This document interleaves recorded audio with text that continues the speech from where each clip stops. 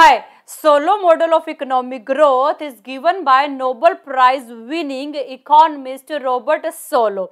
This is first most influential new classical model and explain how capital accumulation, population growth and technological progress contribute to economic growth.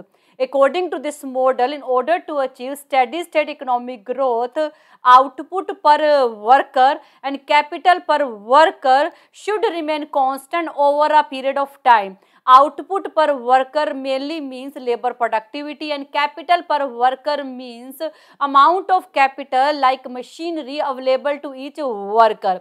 If labor productivity is more but you have less machinery, obviously it will slow down overall production. On the other hand, low labor productivity despite of more machinery is a problem. That's why according to this uh, model, in order to achieve steady state economic growth, output per worker and capital per worker should remain constant over a period of time.